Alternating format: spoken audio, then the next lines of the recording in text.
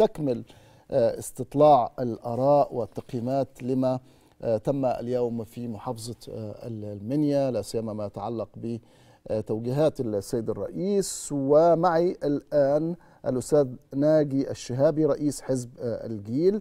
أستاذ ناجي مساء الخير. الخير يا أستاذ عمرو. أهلا بيك ازي صحه أهلا بحضرتك يا فندم. أهلا بيك يا فندم. أيضا يعني كما سألت الأستاذ عماد الدين حسين تقييم حضرتك لما رأيته لما استمعت إليه من رسائل طمأنة بعث بها اليوم الرئيس عبد الفتاح السيسي من المنيا يعني وأيضا اهتمام اهتمام الدولة بصعيد مصر الذي كان نسيا منسيا في فترة طويلة من التاريخ الحديث. يعني بداية الرئيس النهارده كان خطابه قصير وليس طويل ولكنه من أول كلمة لآخر كلمة حملت عدة رسائل أهمها أن ما تعيشه مصر الآن من أزمات لن يستمر طويلا وإن بكرة أحسن من النهارده. رسالة اطمئنان عمل منها الرئيس مقارنة بين مصر في 2013 ومصر في 2023 وعمل أيضا وشمل هذه المقارنة آه الأوضاع في مصر في 2013 والأوضاع في مصر والدول الأخرى المشابهة في 2023 الرئيس آه طمأن الناس بان هذه الأوضاع لن تستمر طويلا.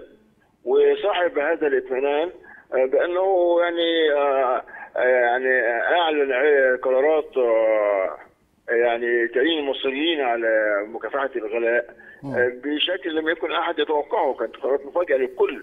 إحنا كنا قاعدين في في قاعة المؤتمر وما كنا نتخيل إن الأزمة الاقتصادية شديده عالميا.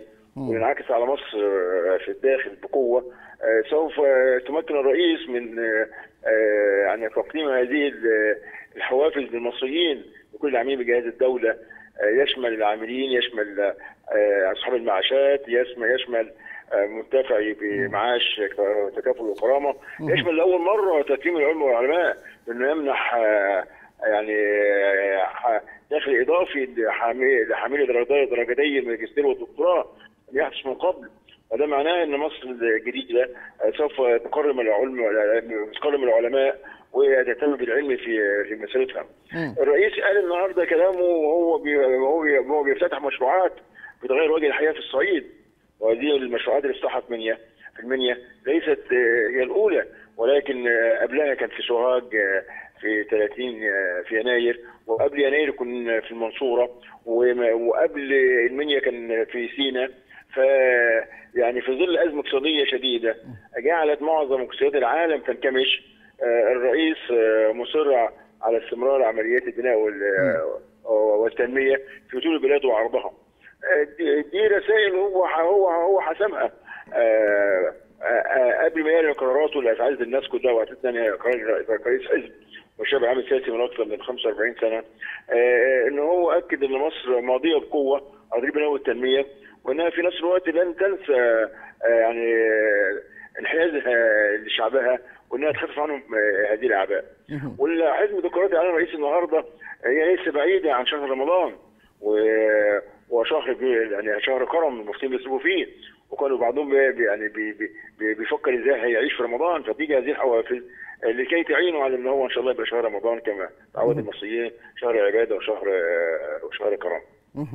ويمكن يعني زي ما حضرتك يعني تفضلت الآن وزي ما تفضل الأستاذ عماد الدين حسين قبل قليل إنه إعلان هذه القرارات وهذه التوجيهات الرئاسية جاء في توقيت مناسب لإنه يعني حتى من خلال كلام السيد الرئيس النهارده هو يشعر بالقلق الذي يعني يعبر عنه المصريون سواء في أحاديثهم العامة سواء في مواقع التواصل الاجتماعي. مش كده يا أستاذ نجم؟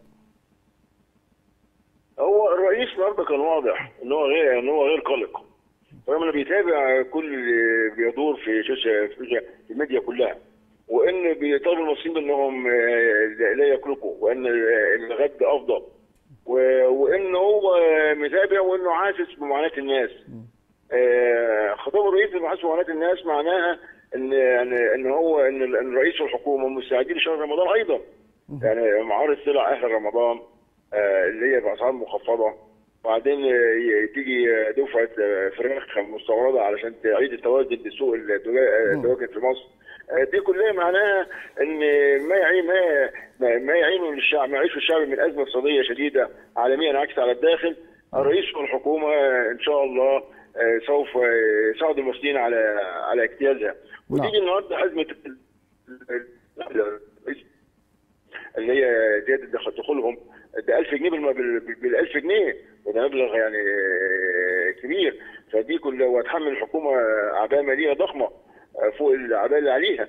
فده معناها إن إن, إن إحنا كنا في في قارب واحد. وإن ثقة الرئيس المصريين وثقة المصريين في الرئيس جعلته يعني يلزم الحكومة بهذه القرارات. نعم. بشكرك. شكرا جزيلا الاستاذ ناجي الشهابي رئيس حزب الجيل.